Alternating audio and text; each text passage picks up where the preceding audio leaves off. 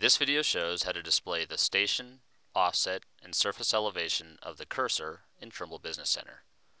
The purpose of displaying the station, offset, and surface elevation might be to create a point at a specific station and offset along an alignment.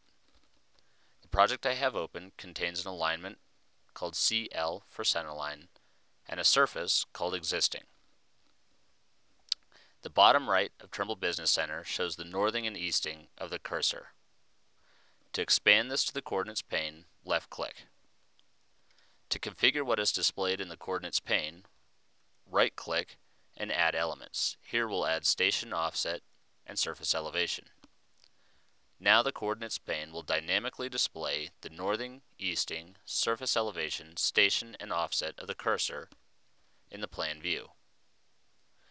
That concludes this video on how to view station, offset, and surface elevation for the cursor in Trimble Business Center.